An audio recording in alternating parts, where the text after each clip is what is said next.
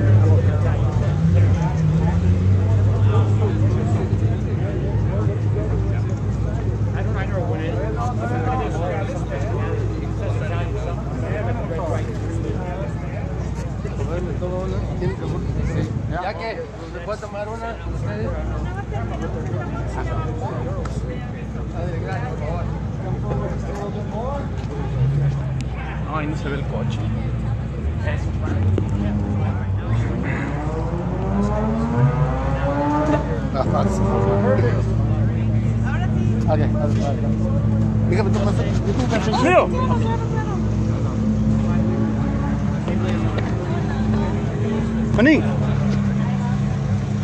¿Quieres stay?